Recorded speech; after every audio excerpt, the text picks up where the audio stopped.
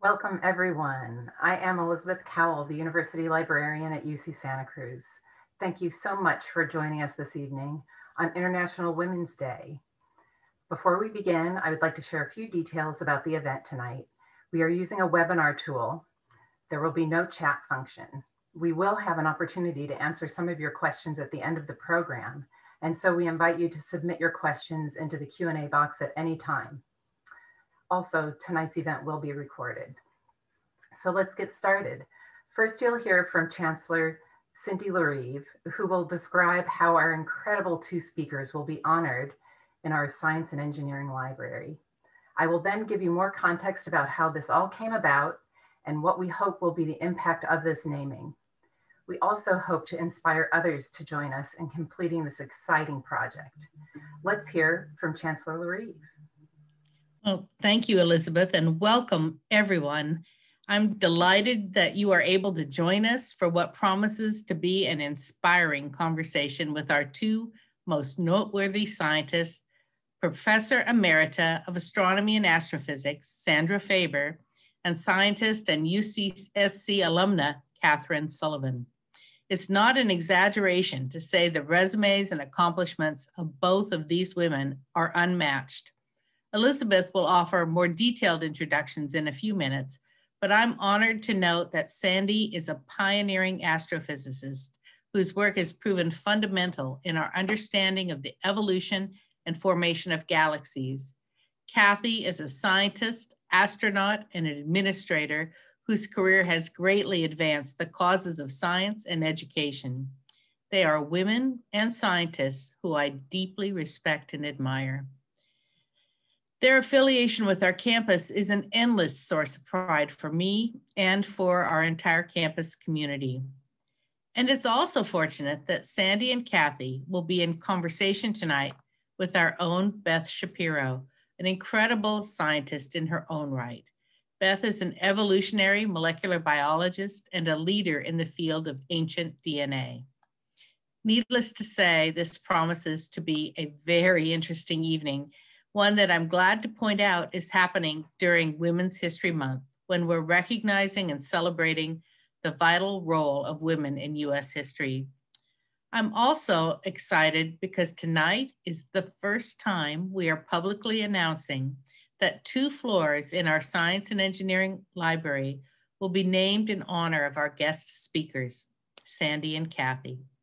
The transformation of the third floor of the Science and Engineering Library was completed right before the pandemic hit in early 2020.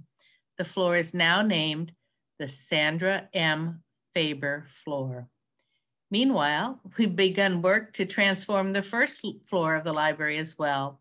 The floor will open in the winter quarter of 2022 and will proudly bear the name of Kathryn D. Sullivan. Congratulations to both of you, Sandy and Kathy, this is richly deserved and an important step towards making our library more inclusive as we transform it into a library of the 21st century, embracing books as well as digital scholarship and giving our students a library that fits their needs. Elizabeth will talk a little bit about this transformation as well.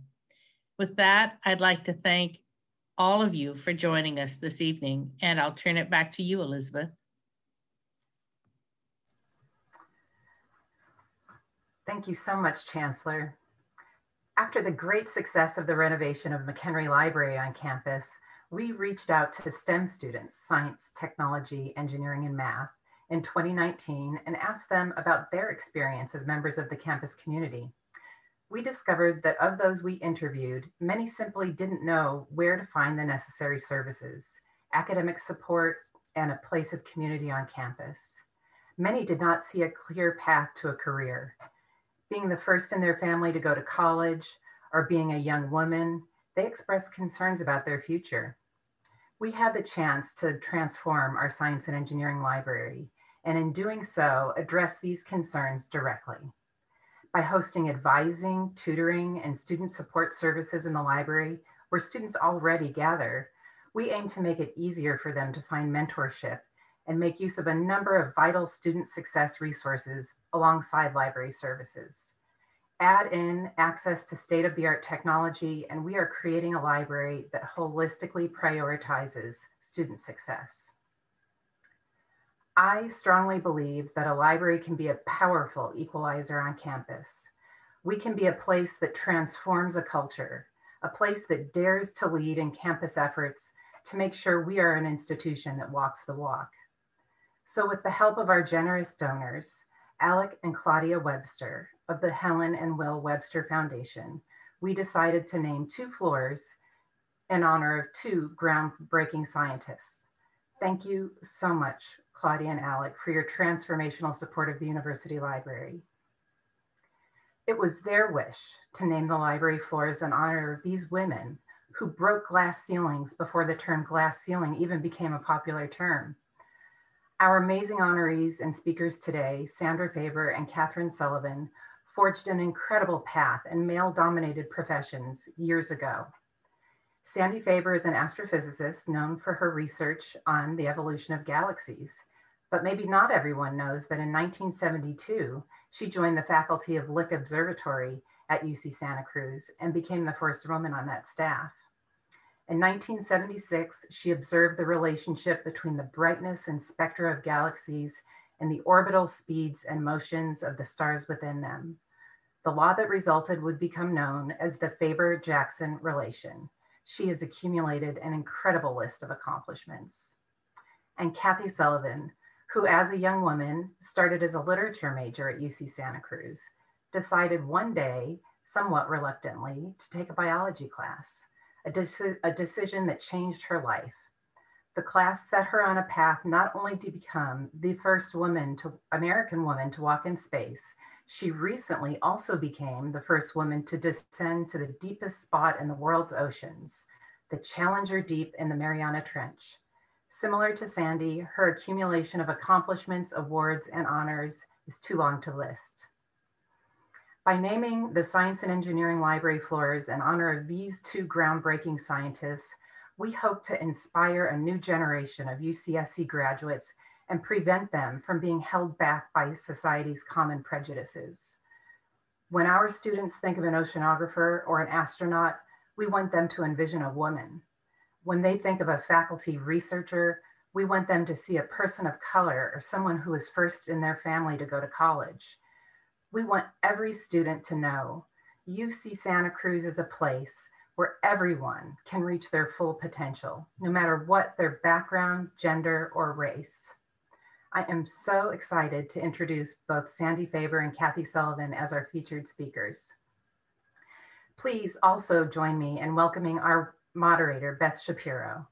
Professor Beth Shapiro is an evolutionary biologist who specializes in the genetics of Ice Age animals and plants.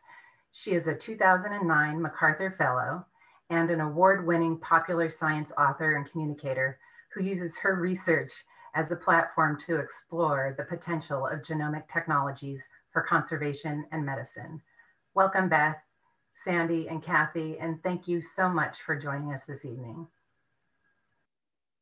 Thank you. Thank you so much, Elizabeth. And now let me take a little bit of time to welcome you again to today's exciting event where we're going to celebrate the careers and achievements of these two impressive women scientists. And of course, make official the naming of the first and third floors of our science library for them. I have prepared a few questions for Kathy and Sandy, and I'll also be taking questions from the audience. So ask away. We'll be looking through your questions as we speak and picking only the best ones. So make sure they're good questions. it is particularly pleasing to me that this dedication is taking place on March 8th, which is not only the beginning of Women's Month, the month for celebrating women and our achievements, but also International Women's Day. I didn't think this was the plan, although we're lucky that this is the actual date. And so, on that note, I'm going to begin with a question that's relevant to International Women's Day. Both of you are pioneers in your fields, gender notwithstanding. But there must have been moments where your gender played a pivotal role, either in making specific opportunities available to you, or less happily, perhaps, meaning that barriers were in place that you needed to overcome. Kathy, your biography includes lots of lines in which you're the named the first woman to achieve lots of things. First woman to walk in space in October 1984, first woman to dive to the deepest parts of the oceans. What are some of the barriers that you discovered along the path to these many impressive firsts that may have been specific to your gender? Thanks for the question, Beth. Uh, you know, I, I led a blessed life, I think, in that regard. It came along enough after earlier pioneers who went before me uh, that the door to some of the fields that I was going into, I, I, wouldn't say it was wide open, but it wasn't nailed shut anymore. Uh, others before me had, you know, broken it down and gotten it ajar at least. But I did find, first as a geology student, where the sort of the cutting edge thing is going out into the field, up into the mountains or wherever it may be, uh, and being in field camp for maybe weeks at a time, and then on research ships. Uh, and the issue was, I think, two things. Those had been fun, cool boys' camps, you know, from time immemorial. Uh, and the, you know the guys could do whatever they wanted to do, what, whatever that might be. They tell raunchy jokes or belch or hang around their underwear, whatever it might be. You know, be little boys again. And now there's going to be a woman here that's going to make them feel more self-conscious about that. Uh, so that seemed to always get condensed to, uh, I mean, their pushback was the problem is we don't know where you will go to the bathroom. Uh, to which my normal recourse was, that's not A, that's not your problem. Uh, B, I, I understand trees and rocks, this will be just fine.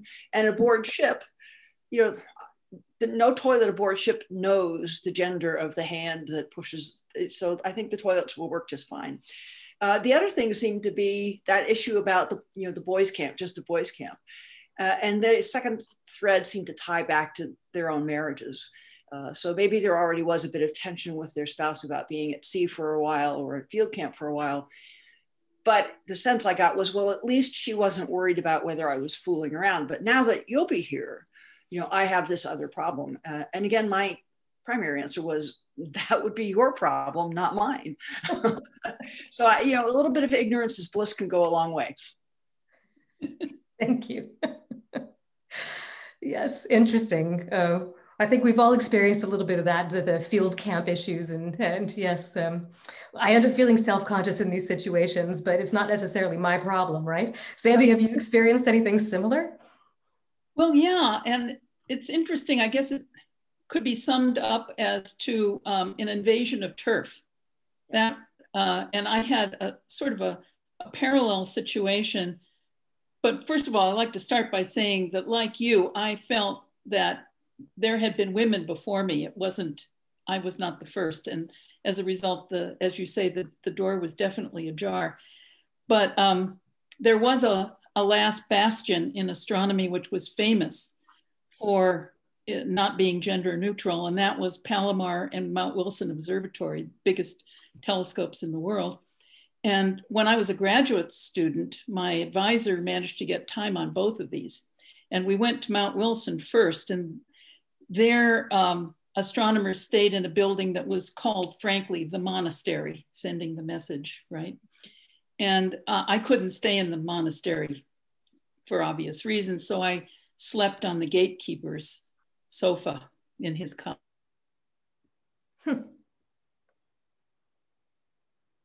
Uh-oh. Oh no, we've lost Sandy. I guess she will have to rejoin our our party in just a moment. I will move to another question then. Um, Kathy, we are all here because of our association with UC Santa Cruz. So I'd like to learn a bit more about how you chose UCSC. My understanding is that you came here as an undergraduate because UC Santa Cruz has a strong or had a strong Russian language program, um, but you didn't end up becoming a linguist. So how did this change happen? that's exactly why I came to Santa Cruz, plus the affordability of the University of California system. Uh, my theory of the case at the time was that I needed to find a path that built on some of my known strengths, and foreign languages were one, uh, that in a nutshell would result in somebody buying me airplane tickets so I could travel to and study and live in other parts of the world. I'd been a map fanatic from my youngest days, just hugely curious about everything about the earth geography, landscape, climates, peoples, cultures, politics, you name it. So the flair for languages seemed to be, you know, the first good key to unlocking that kind of a world. Uh, so here I come to Santa Cruz and I sign up for a bunch of language courses, Cowell College, the World Civilization Core course. Uh, and I'm meeting with my advisor, who's John Hummel, a professor of French literature, delightful guy. He, he remained my undergraduate advisor for all four years, despite my change of major, because we enjoyed each other's company so much. And he informed me in our very first meeting, uh, you know, I looked through the catalog, I had a whole roster of classes that was locked and loaded and ready to take. And he informed me that I had to give up one third of those because I had to take one natural science course each of the three quarters. Uh, I threw every argument and, and tantrum, everything short of tears at him to get out of this, and of course failed. Uh, but the fun thing was, you know, John John had nursed other language majors through this problem before, and so he had scouted courses in the natural sciences faculty that were interesting and well taught and not too hard for French majors. And so he recommended three to me. One of them was Todd Newberry's Introduction to Marine Biology. So that was the first quarter, uh, fall quarter. Uh, there was for me a very forgettable uh, theoretical mathematics course in the second winter quarter. And then the third one was Gary Griggs' uh, overview of oceanography in the spring quarter. And I was just mesmerized by Todd's course. You, this ebullient, dynamic young professor in love with his field, taking us out to the shoreline every weekend. Uh, and the contrast to, you know, my econ prof and John with nice, cozy offices, slightly darkened, pipe on the rack, dog on the floor, or out in the shoreline or up in the mountains with Casey and and, uh, and Todd was kind of it was pretty pretty irresistible. So the pivotal moment, and, and I'll tell the stories because to me it's really symbolic of the the commitment to, to reaching out and supporting and educating undergraduates at Santa Cruz.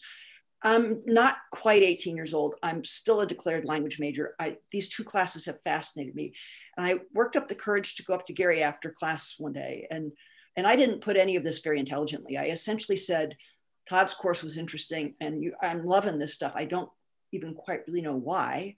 So I don't know if I just found my lifetime hobby or something more. And what, what, what does it mean? what do you guys do? What, you know, what does be an oceanographer mean besides lecture to freshmen? And, you know, to, you got to pick the right person if you're going to put a question that poorly, because instead of dissing me, as he well could have done for a very poorly put question, he heard what was underneath it.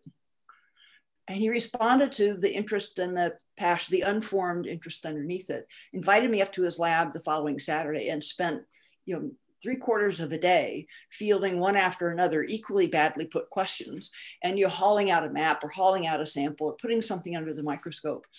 And the conclusion was i asked him what should i take next quarter? I'm good at languages. I know i could succeed in some kind of life. I don't know if i'm any good at this what class should i take next quarter to find out if i can actually handle this? Uh, so my in a nutshell where i think most professors would have looked down their nose at my ignorant question and sort of reminded me how huge the chasm was between their respectable tenured self and my you know modest little 17 year old arts major uh, gary showed me how to build a bridge across that chasm and welcome me to the other side. And that's why i am where i am today Isn't that that's amazing. It's a great story. Do you remember what he told you to take? Oh goodness yes i do because it almost killed me. It was an optical mineralogy course and so the there I go, the next quarter, and Rob Coe gets up day one and he writes he writes some things on the board, and he turns around to the class, all of whom he thinks were intending to be science majors in high school, I suspect, and he says, "Well, this simple expression will be the basis of everything we do." This year, I copied that expression like I was imitating his handwriting because I had no idea what it was. And I ran to the bookstore, uh, the Bay Tree bookstore, and bought the book he said was the course book. And then I went over to the other part of the bookstore and found the, you know, trigonometry for, for dummies because I had never taken trig in high school. So I, my, my modest claim, my not very modest, one of my points of modesty is that I passed Rob Coe's course without ever having taken trig formally and got through. And what was the equation? Snell's law. I mean, how, you know. Oh, okay. All right. So, so completely simple.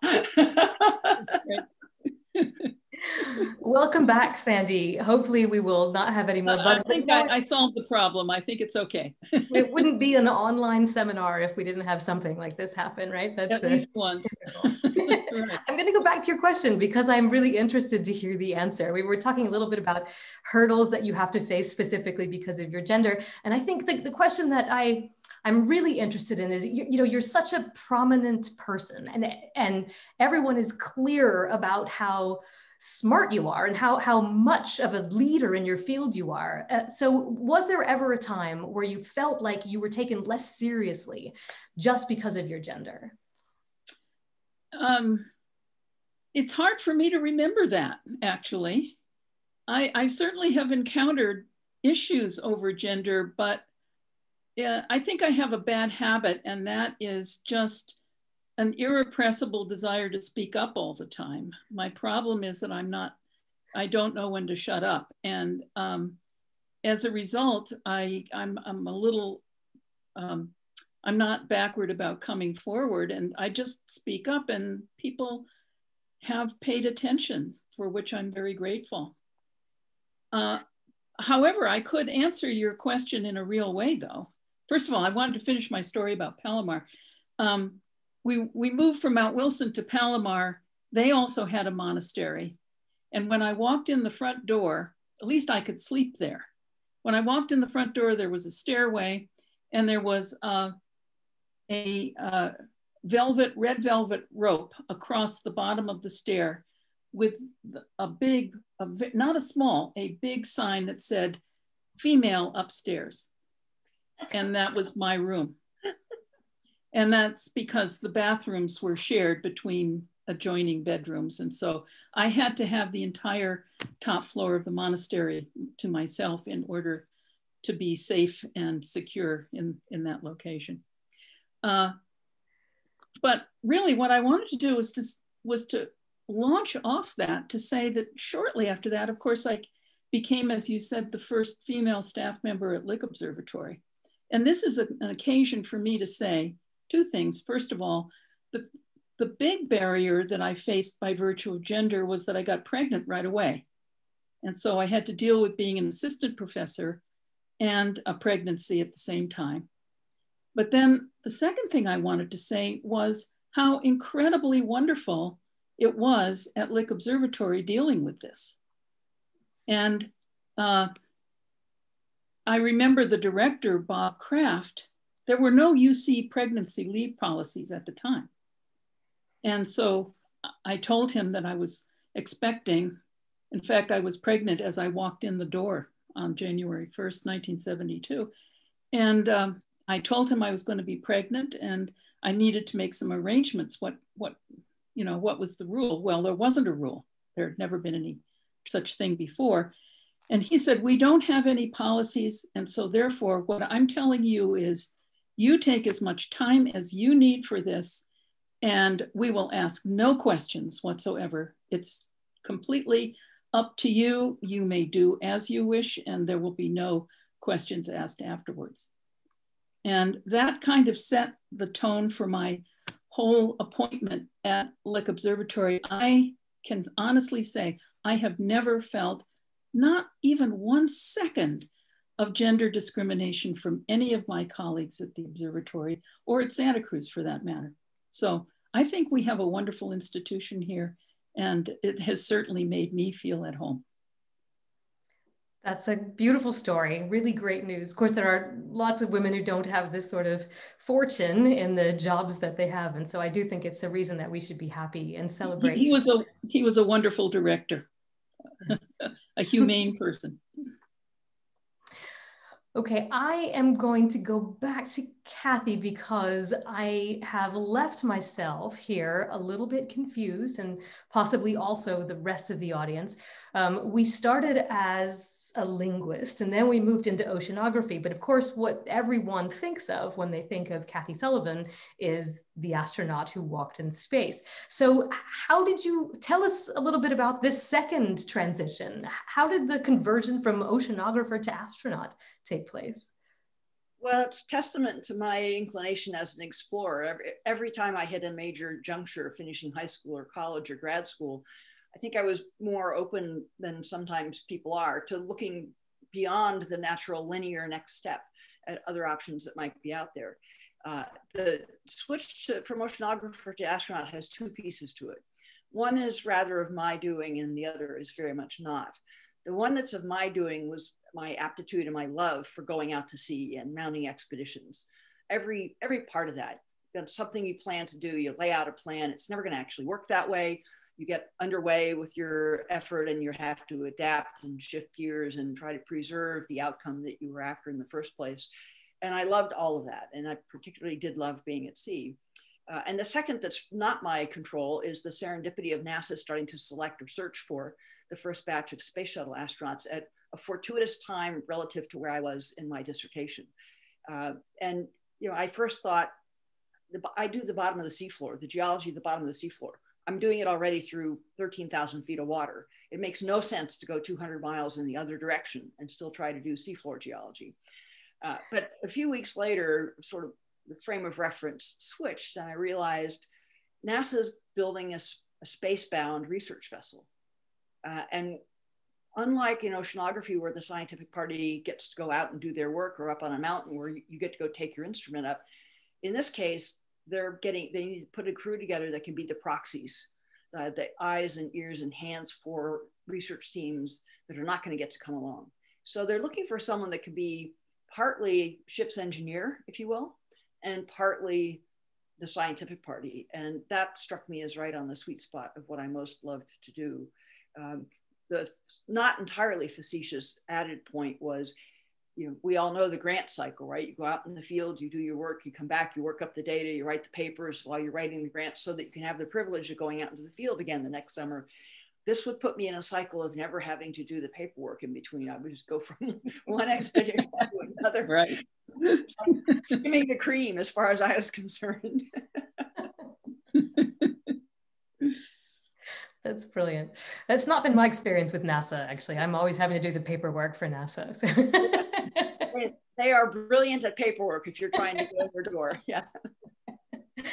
Sandy, um, you've taken a more direct path to your current field and expertise, but um, have also had to make some difficult decisions along the way and no doubt faced considerable challenges. What is the single most difficult challenge that you have faced so far in your career? Well, it's interesting you should ask that. It's probably not something that people would think about uh, in if they were at all familiar with the things that I've tried to do. The single most difficult thing I ever did was lead a team of engineers and scientists who built really a path-breaking, humongous new spectra, um, spectrograph for the Keck telescopes. And this was a groundbreaking spectrograph that had, I once added it all up, seven absolutely new path-breaking features that people had never made before. And um, as you build telescopes larger, you have to scale up the instruments in proportion. And so this, these were 10 meter telescopes, um, twice as large in diameter as Mount Palomar, but three times as large um, as uh, the 120 inch, which, which I was familiar. So basically I was now trying to design an instrument that was, that filled an entire room. And I had never built an instrument before. I knew very little about optics. I knew nothing about mechanical design or anything like that. And I was the head of this team. And as many builders of astronomical instruments will know, the only reason you get to start these is you state the cost, you lowball the cost. And everybody is playing the game. You're playing the game. The committee approving the spectrograph is playing the game. But nevertheless, I knew that I'd signed up to build this enormous spectrograph for about half the money that it would really take. Um, I have a theory about estimating instrument costs. Do your best for two weeks, get a cost, and then double that. And that's actually what it's going to cost. So, anyway, seeing this instrument to conclusion, many catastrophes, and many of them due to ignorance on my part, was the hardest thing I ever did. And I take my hats off to the brave souls among our astronomy folk who devote their entire lives to making instruments that the rest of us observe with. I did it once and it almost killed me. so in that, what do you think was the most difficult thing? I mean, you had to come up with this, you had to come up with a number and you had to present this number that you knew was wrong to someone. This seems all well, of it seems. I don't know if I'm answering quite that question, but there was a crisis moment when the spectrograph was together and you should be taking pictures through it. You should be taking spectra. We took the picture and it was horrible. There was something absolutely dreadfully wrong with the optical assembly. Something that where, where the images should have been small, tight, and round. They had tails on them. They looked like snakes poking out from the center of the field of view. so we had a dilemma. Do we take it apart, which would be a huge delay, or do we have our pre-ship review and try to convince the review committee that this was fixable and we'd fix it later? And that's when I had to stand up and make the case that we should move ahead. This is fixable. We'll fix it in Hawaii. and then the moment came when we put it all back together again and took pictures again, and it worked. So that was um, that was a moment to remember. I would put it that way. Maybe this is the wrong question to ask, but do you know why it worked when you put it oh, back? Oh, yes? I know exactly what was wrong. Okay. uh, as a process, as a part of managing this instrument, I had to learn how to use an optical tool, Snell's law, uh, called ZEMAX, which models optical systems. And so I could tell from the errors in the image, what was wrong, the spacings. There was really nothing wrong with any of the curves on the lenses. It's just that their spacing was wrong.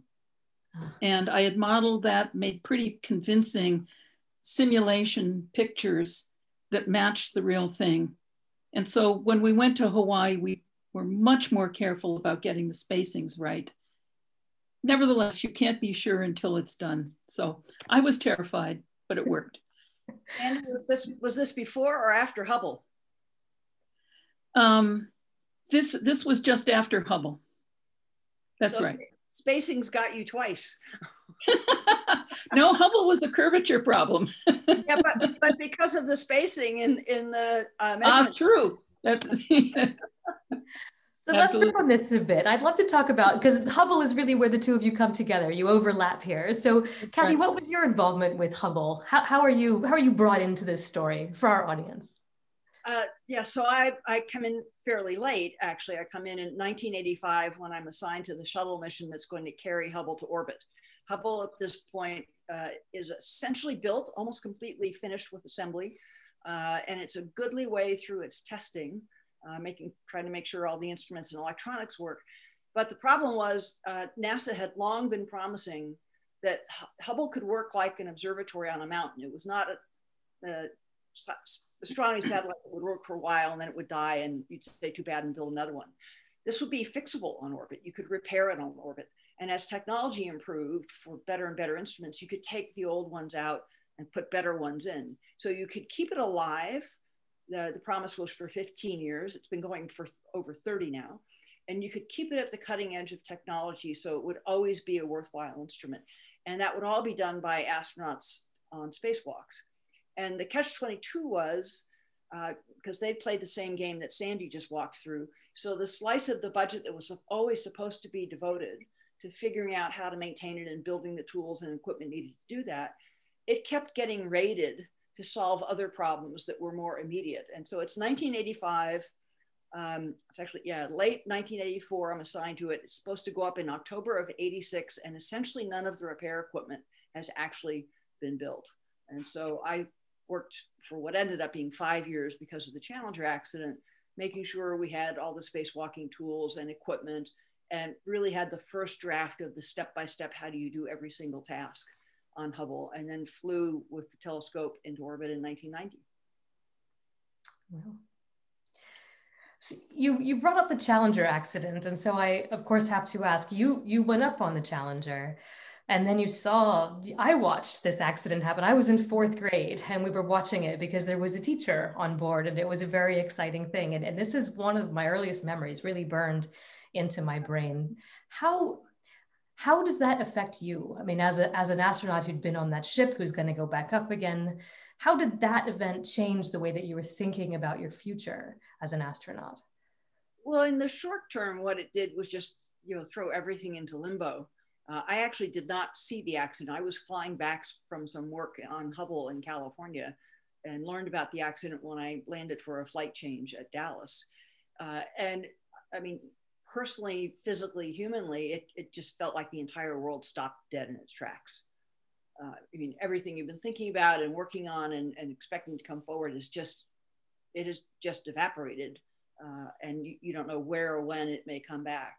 Uh, then, of course, there was the personal loss. Uh, four of the people on that crew were uh, were classmates of mine, so we've been together since 1978. You know, the families, the kids. Uh, I, Mike Smith was the fifth NASA astronaut. I knew his family pretty well. Uh, most of us knew the payload specialists like Christa and Greg much, much less. But still, you know, there's seven souls lost. Uh, five are our NASA family, and you know the fleet is grounded for who knows how long. So I think we all spent you know a good solid year plus just kind of in limbo as the engineering is getting done, the analysis is getting done. Will the shuttle fly again? the political impact of that could have been so grave that it grounded the program forever. You just you just don't know, and you have to just march forward one day at a time, one foot in front of the other, uh, and hope the fog will clear, and then you begin to see what might come out the other end of it.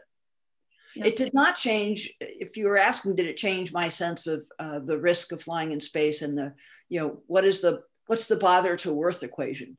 Why do you why do you do this? Because there's an irreducible risk that's never going to be zero. So what what is the value of doing it that, in your judgment, warrants accepting that risk? Um, if if anything, it kind of reconfirmed that for me because if I had if we were going to stop flying because of one shuttle accident, then I had really misjudged that value equation in terms of what I felt uh, humans going into space meant for humankind, for our country, for science. Uh, and so I was very committed to we have to go fly again. Yeah, thank you. Sandy, in a similar vein, but obviously not not at all the same. Um, the when Hubble went up and didn't actually do what it was supposed to do. How did you, how, how did that feel to you? What was your reaction and, and, and then plan moving forward? Well, let me rewind just a, little bit here and just put myself in the picture the way Kathy did back in, was it 1985 when you joined the program? As it happens, that's also when I joined the Hubble program. I was invited to join the Wide Field Planetary Camera Team, which was headed by two friends of mine down at Caltech, Jim Westphal and Jim Gunn. And the team was receiving a gift of 300 hours of observing time in return for all the trouble that the team went to build the instrument and test it and so on. And so they felt that they needed a little, pardon me, a little bit more science strength on the team. And that's how I got invited to join. And basically, I, I sat around during the Challenger delay and didn't have very much to do. Then the telescope was launched in April of 1990.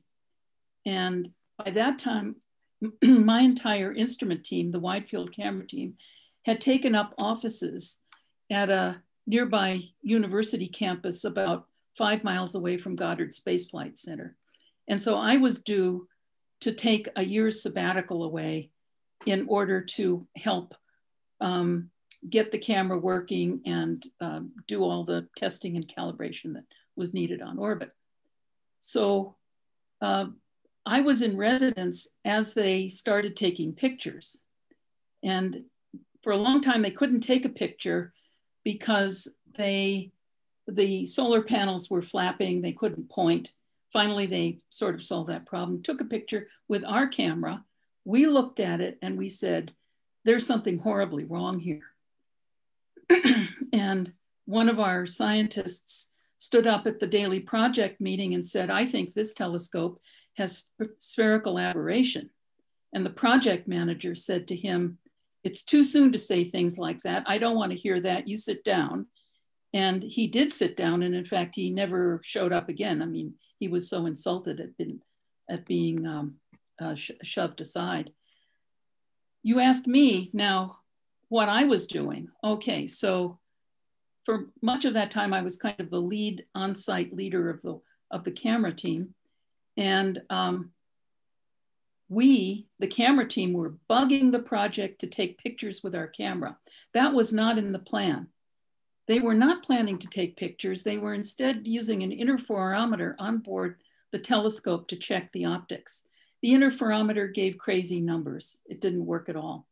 So members of our team bugged the project, will you please take pictures? And gradually over a six week period, they took pictures.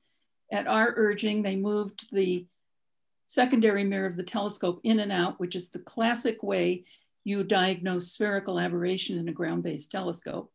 We had six pictures. Um, my colleague, former graduate student, then postdoc, had learned how to use an optical analysis program, modeled these with diffraction limited images. We had six model images that looked exactly like the six images that were taken through focus. We presented them at a project meeting at the end of June. You could have heard a pin drop in the room. People just had no, they were in denial. They just didn't want to face up to the problem that this telescope had a severe, really fatal problem. So, uh, how did I feel? That was going back to your question. How do I feel? On the one hand, this was the most intense investigative period of my life. Learning about the telescope, understanding the images as they came in, modeling them, making a report, and so on. I felt triumphant because we had diagnosed what was wrong with this telescope.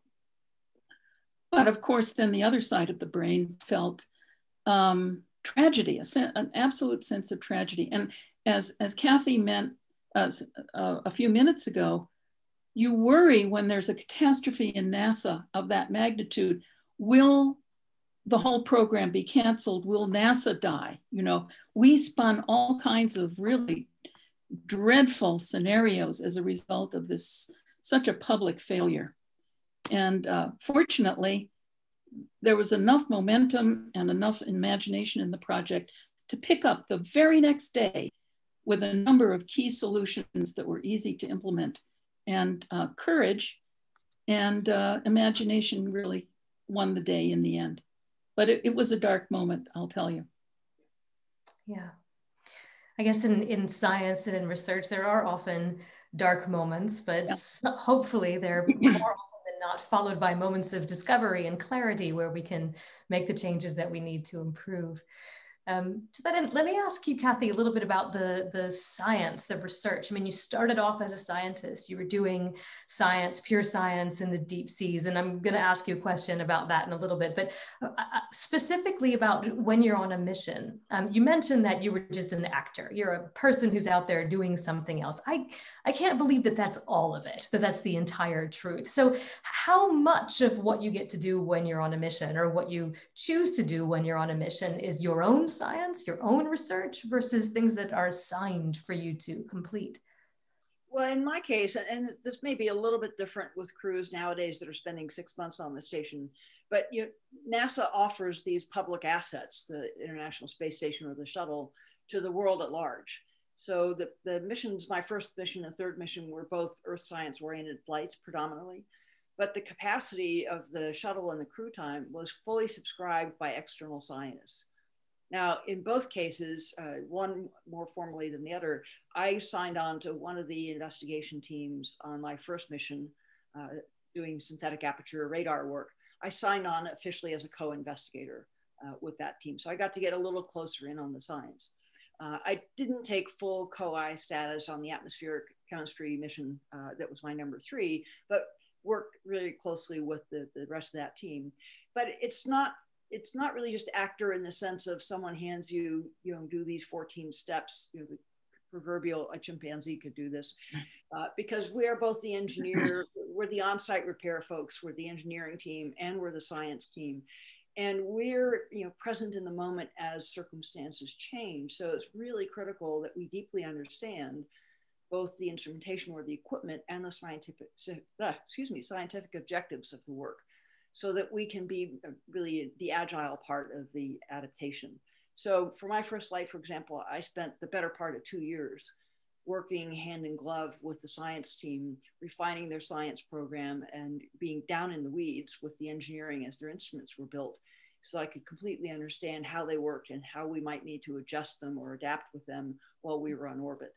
Um, so it's, you know, I, I liken it to, um, I mean, I think some people feel astronauts are, live, live very regimented, unimaginative lives, It's very disciplined, and you know, it's always a checklist in your hand, and that must be very boring. But what that overlooks is uh, I wrote that checklist. I mean, on both my first and third flights in particular, we're, do, we're doing things that have not been done before. Uh, and so you're not handed a book to learn and then take a test to show that you learn it you sit down with the investigators and you basically together write the how are we going to do this book. So to end up in orbit then carrying it out always felt to me more like i was the composer getting to conduct her own symphony for the first time. It's it's all of your work coming together and to then see it actually you know, blossoming and happening for real is is hugely fun. And life never does deliver circumstances quite as you planned so you're always getting challenged to stay on your toes that's great. I think it's lovely. It's a it's a nice combination of the scientist and the engineer, and you're in charge, but you're you're also doing things for other people. You're part of a team, but you're your own. It sounds like a lot of fun. Maybe I should have been an astronaut. I'm feeling I'm feeling FOMO at the moment. Some serious FOMO. Especially That's probably not the right word. Anyway, whatever. Um, Sandy, um, I'm, I'm also curious. Um, there's been a, the, I can't formulate this correctly. There's a, there's been a chat in the Q and A from your daughter, your oldest child, who said that uh, you you are the kind of person who always has your eye on the prize. So you might not really have been paying attention when there were people or, or circumstances that were were necessarily or, or were judgmental of you because of your gender and particular things like that. And that doesn't really matter to you because you wouldn't really noticing. Do you think that's fair? Do you think that's a fair assessment by your daughter of you? I think it's completely fair. okay. Yeah, I, I really cannot do two things at once. And so when I'm doing something, I'm really completely focused on it and tend to be oblivious about the nasty faces that people might be making around the room if they are. Yeah, I think I've, you know, but you can imagine that a trait like that at other times is a real disadvantage. So nothing is all good or all bad, but I, my daughter always sums me up I know. Exactly. I imagine that there are situations where it's a real advantage. And I'm going to ask you now, given that you have your eye on the prize, you're officially retired from the university, but as far as I can tell from my interactions with you, you, you never stop working or having your eye on a prize. So, so what is next? What are you looking for next? What is the next thing, your next prize? Well, I'll tell you what could please me the most. Uh, actually, I'm doing a lot of science and running a couple with my colleague David Koo here in the astronomy department. We're running study groups, and in this day of, of Zoom, we, we have daily meetings. We meet every day of the week with a team in China for a couple of hours and so on. So it's the science is still intense. But I do have a dream and uh, tried to get this going, but only with mod moderate success. It's something called the Earth Futures Institute at UC Santa Cruz. And um, I'd be really interested to hear what Kathy thinks about this.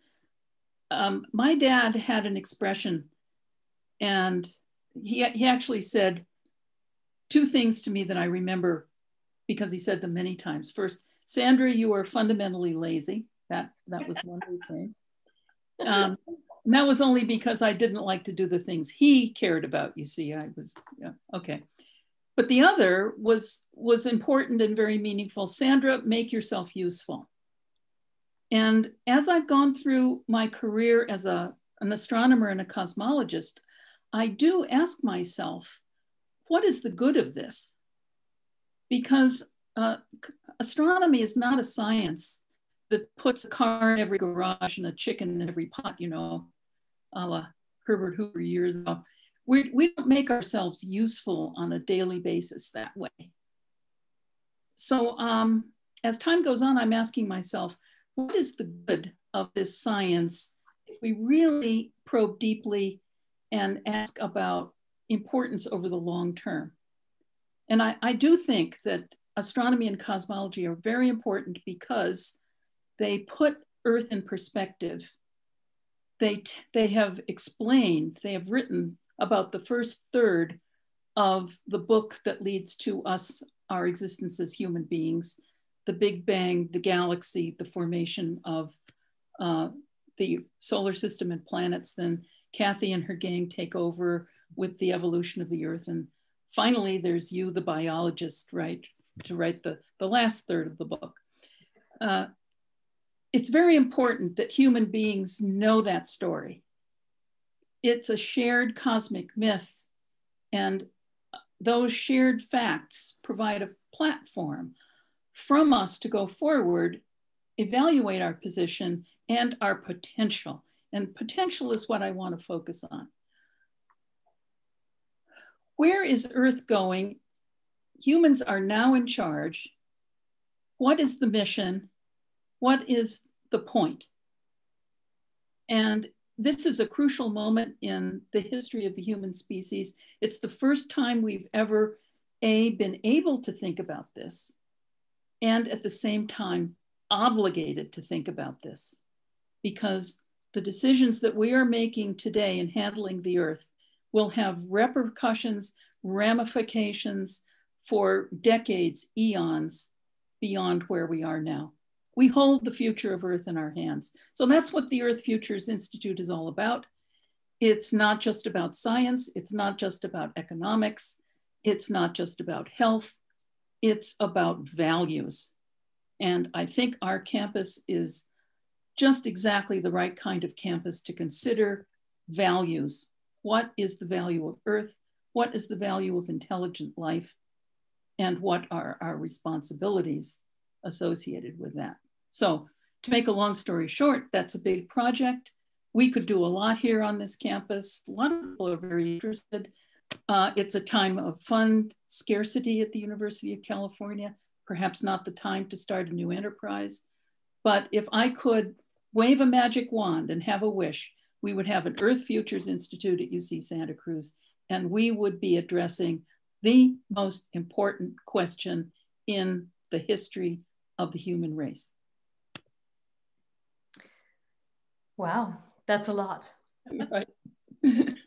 Kathy, would you like to comment about the Earth Futures Institute? I mean, how do you, uh, maybe we can even turn this into a little bit of a discussion about the library. So we want this to be right. part of, you know, the, the, the legacy for, of the, of the campus and to make this uh, something that we're all thinking about. I mean, how do you see can you see a synergy between the, the, naming of the floors in the library and, and really getting students to think about the future of Earth as well as the future of themselves? I think it's a, this is a moment to, to consider what we want this to be. What do you want it to be? Kathy, you first. Uh, well, I certainly think, I certainly hear a link in what Sandy said to one of the big motivating factors in my career. Uh, you know, look at that backdrop that Sandy's sitting in front of, a spectacular view of the Earth. Uh, I had the privilege of seeing that with my own eyes from not, not quite the distance that that image suggests. Uh, and you've heard probably every astronaut talk about how moving it is, how sort of illuminating it is about all the interconnections and that, that, that our, our Earth and everything that lives on it is an interconnected system of systems.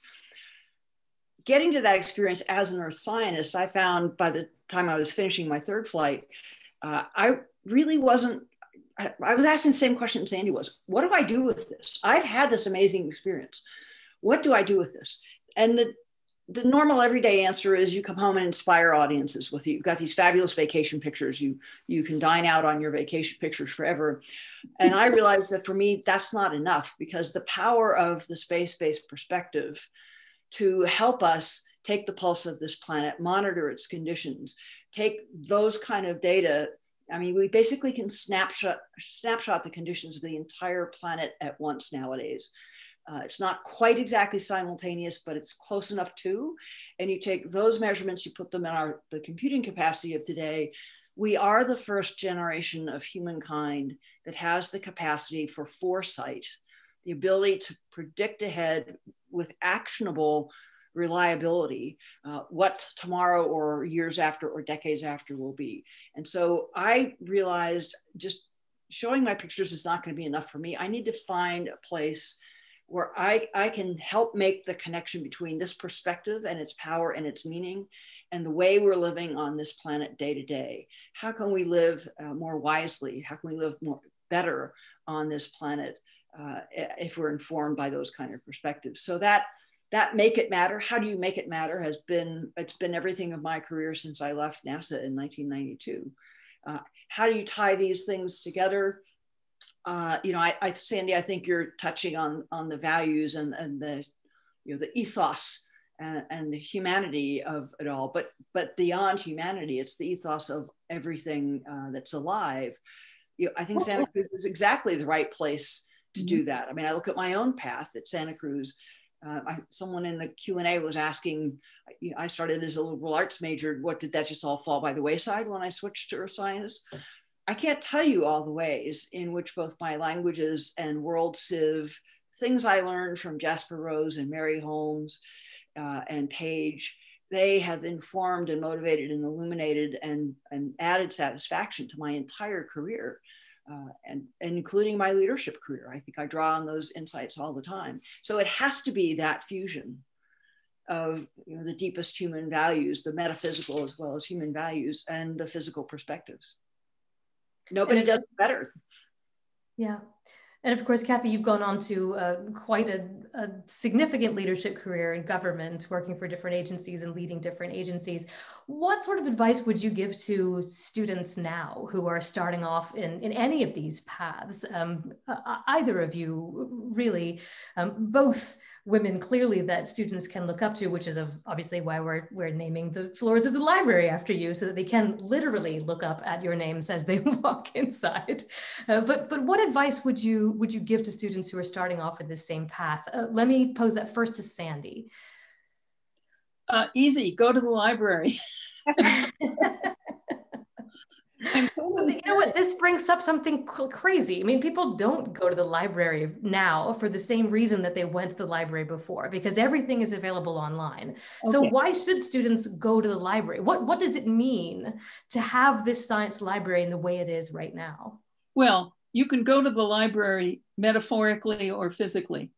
So metaphorically, you should go to the library and become familiar with what's in it, the intellectual content which you can do online. But of course, you really should go there physically. And uh, I just remember the science library at Swarthmore College, which is where I got my start. I didn't go there for the books. I went there because my fellow students were working problem sets and I and I needed to talk to them and learn learn from them. And it was so serendipitous. You you saw somebody across the room, you could go talk to them, and then for 30 seconds, then you could return to your seat. You know, it was so flexible. You could go outside and play a game of Frisbee when you needed a break. It was a wonderful social gathering spot. And I just could not applaud more our new vision for the science library at UC Santa Cruz and how the wonderful things that the Websters are making possible there. Um, it's a transformation and it's really the way the library should be used. And I'll chime in and just say what Sandy said. I think physically going to a library today is, is because of the value and importance of community and of learning in community. Uh, exactly. Uh, learning in that flexible, real time fashion from people around you. Mm-hmm. One of my very favorite adages is that the only thing any of us does truly on our own is have the start of a good idea and beyond that it takes other people it takes exchange with other people in conversation to refine it to see other dimensions of it than the ones that you've perceived initially uh, it takes someone to help you fabricate it or build it you know bring it to life finance it it takes other people in countless ways to really make something of value out of that glimmer that popped into your head Uh, and the, the, library was the same to me that, that Sandra said. It was a, and remember I'm a language major that's just changing gears. The old small science library to me was this wonderful, wonderful cocoon. Uh, I, you know, I had a section of books I did want to read because I was catching up on lots of things. I had problem sets to work with my fellow students on. And then it was just a smorgasbord to be able to wander through the stacks and browse and, and let serendipity teach me some things that I wouldn't have known to go search for or ask for. And that's, yes, you can, yes, you can do that via Google, but somebody's structuring, somebody's uh, got, you know, there's an algorithm that's trying to feed you something anticipated when you do that kind of search and wandering via the web. Uh, you've got a very different kind of flexibility and serendipity when you just let yourself explore by your own lights rather than by Google's lights. Can, can I just add a little bit about our library? Uh, I am so pleased that my name is going to be associated with a piece of this building because for me, the science library on campus has always been the most beautiful building on campus. And um, I really compliment the library staff and the designers. That third floor, which is farther along than your floor, Kathy, is beautiful. And it's been decorated and, and graced with many wonderful astronomical images. And I can't think of anything more food for the soul than sitting on that floor looking out at the redwoods and the beautiful astronomical pictures. We do need some inspiration to get through Snell's law, right? And uh, this building, I think, uh, not only for community, but also for aesthetics is really an achievement. All right. So before I move on to the the questions that we've got coming in from the the audience, I feel like it would be remiss of me not to ask this question, and I don't care which of you answers it, but and I'm kind of embarrassed to ask, but what is Snell's law? Over to you, Dr. Faber. when light goes from air into glass or a mineral or some substance that transmits light is not open and is not opaque, water, for example, it bends. And Snell's law tells you the angle of the bend as a function of something called the index of refraction of the first uh, medium relative to the index of refraction of the second medium. So it's the basis of how a lens works. it's great. It's just been brought up too many times today to not try to define it for our audience here. And for me, I didn't know. Don't anyone tell my geology professors from the University of Georgia that I didn't remember what that was because well, be big we shouldn't we shouldn't be um, uh, we, we should be cautious here because this being Santa Cruz, we don't want people to think it's snail's law.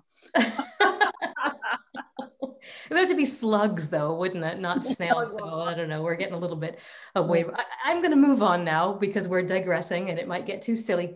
So I'm going to move to some questions from the audience, and there's a bunch of them. Not only are there questions in the Q and A, but I was emailed a whole bunch of questions before we got started by lots of people who knew we were doing this tonight. So I'm trying to sort through everything here. I'm going to start with a question for Kathy that brings us again back to the theme of International Women's Day. Um, the question is I have heard that women, in fact, make better astronauts than men. Is this true? And how do you train and prepare for a mission? And is your training different than what men astronauts have to do? And I particularly like the way that this is phrased men astronauts. We often hear about women astronauts and astronauts, but here we get women astronauts and men astronauts. yeah, so no, there, there's virtually no difference at all in in the training that's gender related. Um, funny. Uh, where did that? What was the first part of that, Beth? it was. Do women make better astronauts than men? well, so way way back when in the 60s, there was a group of women pilots that were put through the Mercury astronaut biomedical screening barrage, and it was quite quite a tough barrage back then because so little was known about what the physical and psychological stresses of spaceflight would be. Uh, and 13 of them passed it and passed it very well. Uh, that was a, a, pet rock project of a physician named Randy Lovelace. And he thought that women might well be better astronauts in, in part because their metabolic, their physical needs and loads are less. So generally smaller frame size, smaller lung volume, less, you know, fewer consumables needed to supply a mission and so on. Um, at, NASA was not thrilled at that point to find proof that, that women could pass the strenuous exams that, that men had passed to become Mercury astronauts. So those ladies never got a chance to become astronauts. Um, we train the same, we do the same. Yeah, I'm there's no job that a woman has not done in the astronaut corps now, from space station command to space shuttle command to, you know, Peg, Peggy Whitson has the longest duration, uh, cumulative duration time in orbit of any American at, at over two years. So it's, you know, it's it's character, personality, and technical competency. That makes sense. Mm-hmm. It doesn't matter your gender. It's just whether you've got the the guts to go out in space, I guess. And we'll come back to that question in a moment. Uh, Sandy, what is the most exhilarating discovery that you have ever made? Uh, diagnosing Hubble. as far as um, the science is concerned, I think the most important and exhilarating thing I ever did was collaborating with George Blumenthal and Joel Primack. And the three of us back in 1984 wrote a seminal paper laying out a, sort of the soup to nuts picture of galaxy formation from inflation generated fluctuations, dark matter, gravitational collapse, galaxy formation. And that was a wonderful collaboration that lasted several months. We met daily. Uh, and very, very rewarding. So I'll put those two forward. two answers for the price of one. All right. Thank you. Kathy. Um, let's see, I read this one here. Let's see. Ah, one thing that impresses me immensely is the bravery of going into space. How did you weigh the danger involved in your decision to becoming an astronaut? And I'm going to add in there, what is it like to walk in space? Well, I actually paid a lot of, uh, gave a lot of thought to the risk and reward equation before I even filled out the application. Because I figured if, if you think you want to get selected to this, you've got to be sure that it really is meaningful to you. I grew up in an aerospace family. I, I knew enough to know uh, and to have seen evidence of how risky it can be. The other thing though is this is, we're talking the very late 70s and you know, a bit rather contentious in the United States at that time, whether it it was worthwhile to be spending money on the space program. You've got civil rights issues, you've got all sorts of problems on the ground. Why don't we just do away with NASA? We got to the moon, been there, done that, uh, and better spend those funds here on Earth. So I had two thoughts in mind. One is, uh, do you do I feel this, that's tr- true about the space program, or do I believe there's value, important value, in the space program? Because you, you're going to go do this, you're going to need to be able to be genuinely, sincerely all in. Can you do that, or you, do you have misgivings about the purpose and value? And then, what, however, I reckon to the purpose and value, how do you weigh that against the risk? It's it's human beings doing things no humans have done before, so they will make errors of omission, and there's sometimes be errors of commission. Uh, and I weighed that out and decided this makes sense to me, not for fame and not for fortune, but in terms of the, the potential value to humankind and the value to my country and the opportunity to serve my country. That was the value.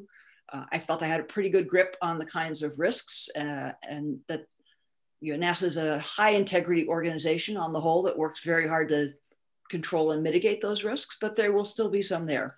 And I weighed that out and decided it, it made it passed the test. Yeah. And what's it like to walk in space? It's not walking. It's a risk thing. That's why I threw it in there, right? You're taking a risk. You're for, for, the, for the 12 for the 12 men that walked on the moon, it was actually walking. For the rest of us, it's more hand over hand. It's ra rather more like swimming. But in terms of risk, uh, when you when you put on a spacesuit, you are basically getting into a body-shaped spaceship of your own. So you're pilot in command of your own single-person spaceship and you're now separated, you're tethered, but you're separated uh, in terms of life support from the mothership. So that that's a different bit of risk. Mm-hmm. So how does it feel? It, Do you stay calm? uh, yeah, the famous the famous family story is my father was able to see my heartbeat, my heart when we were going out the hatch, uh, and it he says it spiked to 78 before settling back to 60 as we went on outside. okay, that's just bragging. it's ready. Let's go. so here's another question. Uh, much of both of your experiences, but certainly not all, have been at public research universities. Sandy, how can we continue to make that opportunity available for today and tomorrow's students? By um, making good use of our tax dollars, having enough tax dollars and making good use of them. Uh, it's really a shame the way state governments have been abandoning their state universities over time to the point where state funding share has really fallen just, you know, to 10 or 20%. So I'll tell a little story. Had one of my students who was struggling to pass the exam. She needed to pass the exam in order to pass her gen ed requirement. In order to graduate, she was this, it was the spring of her senior year. She had to pass my class. She had to get a 59 to pass. She did get a 59. But in the process of meeting with me and getting some tutoring, she confessed that she was sending half her student stipend back to her family in LA. And so many of our students are doing this. Uh, and if they can get through school, then they don't have enough money to apply for graduate school. It's a question, are they going to eat or pay the, the exam and the admissions fees? It's just, well, I'm very disappointed at the current situation and the lack of proper support for public education. You're here. Yeah. I think we can all agree. Mm. Hmm. Um, Kathy, here's a question that was emailed to me earlier, which was um, you have gone both up and very far down. and we've heard a little bit about what it was like to go into space. Can you tell us a little bit about what it's like to go into the deep sea? And, you know, is there a favorite of your adventures or, or not? Yeah, the favorite is that I got to do them both. Um, that there's one similarity and then a ton of differences. This, the similarity, of course, is you can't you can't be in either of those environments without a, a very well engineered craft that gives you the, the, kinds of conditions we need here. Temperature control breathing gas things like that. So there's the marvels of engineering are essential to both of them. And there are a couple of technical commonalities between the two. Uh, but the big differences are start right away. You go into space you've gone from the one atmosphere of pressure that we're all sitting in here now to zero you go into the deep sea, every 10 meters you go down, every 33 feet you go down, you've added another atmosphere's worth of pressure. So at the bottom of the Marianas Trench, it's basically 1,100 meters, 11,000 meters, excuse me. So you've got 1,100 times the pressure outside the little sphere that you're sitting in that we have here. Um, you're riding a bomb to get into orbit, so it's at, just as explosive and intense as that phrase would suggest.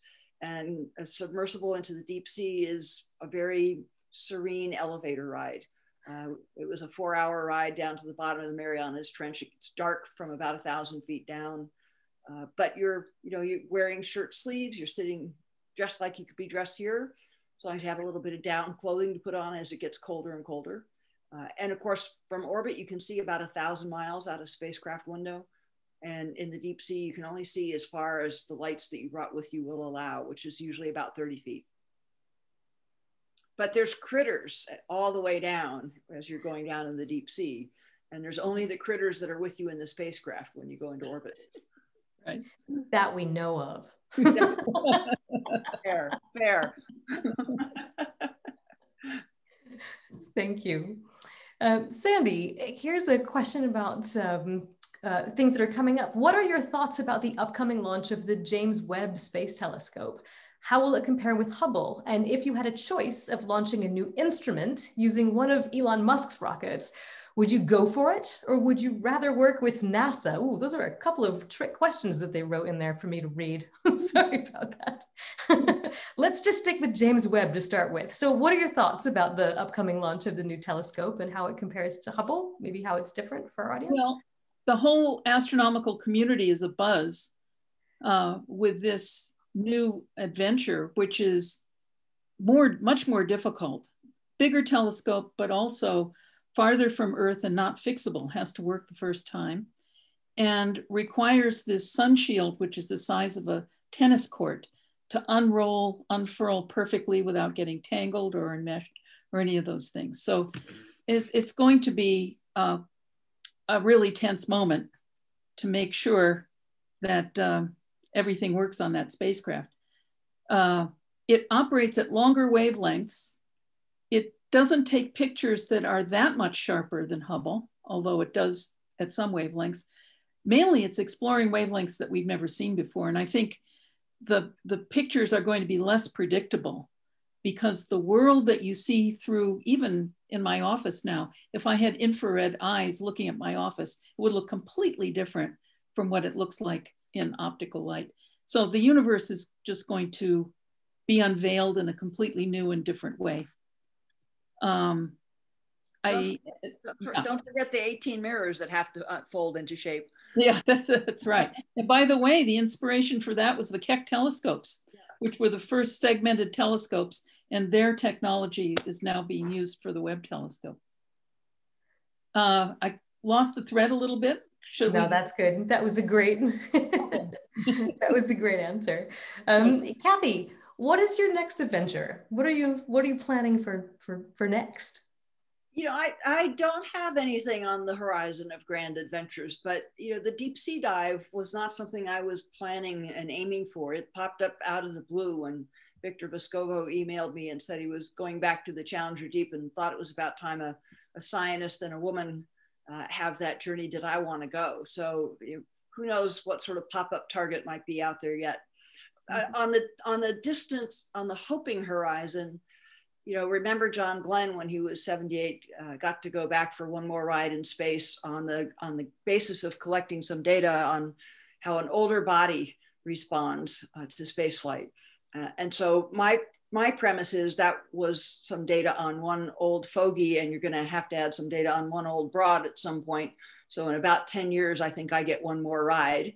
Uh, and if the moon happened to be involved, I wouldn't object.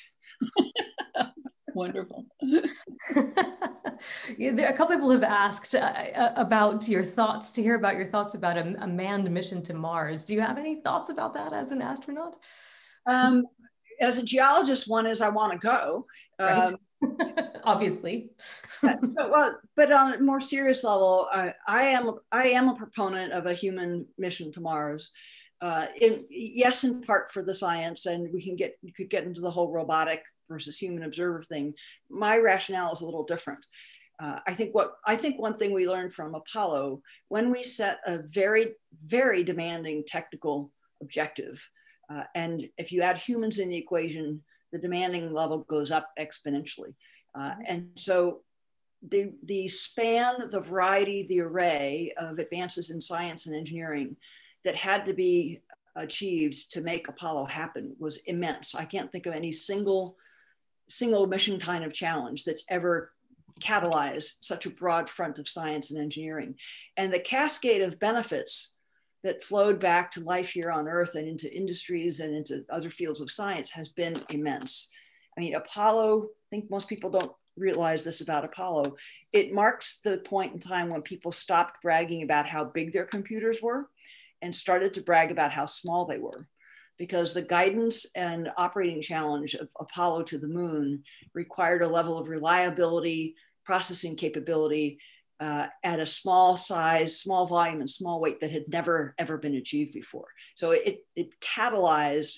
It's a good argument that to be made that it catalyzed the scaling up of production of microcircuits, which had only just made lab scale prior to Apollo. Mm. Thanks for that. Um, I'm going to ask just one more question, I think, before we bring the evening to a close. And I'd like to just bring it back around to International Women's Day and the idea about um, women in science and really, really helping to our, our students and other trainees to succeed. Um, uh, and I'm going to ask this question to Sandy in her current role as professor, at least professor emerita. Um, you've said that there weren't any obstacles, at least that you noticed because you were so busy focused on the prize because of, of your gender. But I'm curious, how has have you changed at all as a mentor as it's become more common uh, for women to be participating in in your field of science? Do you feel like there's been any any part of you that's changed as the field has become more diverse? Wow that's hmm that's an interesting question. I don't think i've ever thought about that. I have a strong sense of myself as being always the same person. And i'm, I'm sure almost everybody feels that way. Um,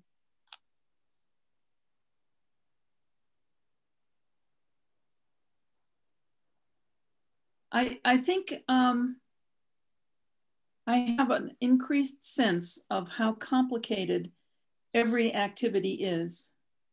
And as a mentor, perhaps am much better at trying to alert my students to the complexities of human organization and the broad array of talents and skills and abilities that it takes to succeed. I think I thought as a younger person, and also imparted this information to my students that you had to be smart, you had to be a good scientist, you had to work hard. Now I understand from the perspective of the end of a career that institutions require so much in order to work well. And um, a person you would like to have a person in your institution who has goodwill for the institution, who has ambition for it, concern for colleagues, uh, tolerance, an understanding of how to solve small problems so that they don't get bigger. In other words, an appreciation of the human element in running the university and being a scientist. I think that's the perspective that has blossomed with me over the years. And it's probably true of most people who have lived as people to the age of 70 plus. it's not something that you really figure out at the age of 20, I think. That's fair. and Kathy, do you have any parting words? Um, you've been involved with lots of different institutions and also seen this and an incredible change in over your career as far as participation, not just of more uh, of increasing gender participation, but also of people from all walks of life and and social backgrounds and racial backgrounds. And and how have you do you have any parting words of wisdom that you would like to bestow on the next generation of people who are looking to follow in your footsteps? Um, a couple of things come to mind. Uh, the road, don't expect the road to be super smooth and don't ask people around you to make it smooth. Part of the roughness is you learning about you and, and growing through your own challenges. Uh, but part of it is just the variety of human nature and uh, the, the competition among people that's that's fairly natural. Uh, I guess the one thing I would pass along most of all, both to young men and women, is uh, in particular, I think, to, in particular, our culture. Uh, we live in a culture that hypothesizes that the, the best way, the right way, the only way, the way you get really great results out of people is by establishing tension and competition and, and pressure. Uh, that's what it takes to succeed. It's very, it is a very sort of macho testosterone kind of uh, approach. That can be one way to spur people to high performance. It is absolutely not the only path to excellence. It, it, it, there just isn't. you can you can use other styles, other cultures. So if the beat them around the head and ears, brash, harsh, isn't working well for you, uh, strengthen yourself a bit to be a better a little more resistant to it perhaps, but understand that's not a verdict on you. That's that's someone you've encountered that has one tool that they believe in for driving an institution to excellence. Even if they're of the best possible motive, they only know that one approach. Uh, and it may be they're just a jerk and they're trying to put you off your game and take you out of play a little bit. That happens too. Uh, but uh, don't don't let people tell you. Don't let the world or the institution around you persuade you that you have to be just like some other person in their brashness or their machismo to excel. That's just false. Well, thank you. Thank you both again. I think that's an excellent way to end to remind people that there are lots of paths to success. The path is not always straight, but sometimes it is, and it doesn't matter. You just follow whatever is working for you. And if people are afraid of where you're going to use the bathroom, you tell them that it's none of their business, right? so thank you both again. This has been a really fun conversation, and I really appreciate you allowing me to moderate. Thank you, Beth. Thank you. Thank you so much, all of you, Sandy, Kathy, and Beth, for this just wonderful conversation. I feel like I'm a different person after listening to it, Sandy. so thank you so much. And stay tuned for more opportunities to participate. Have a great evening, everyone.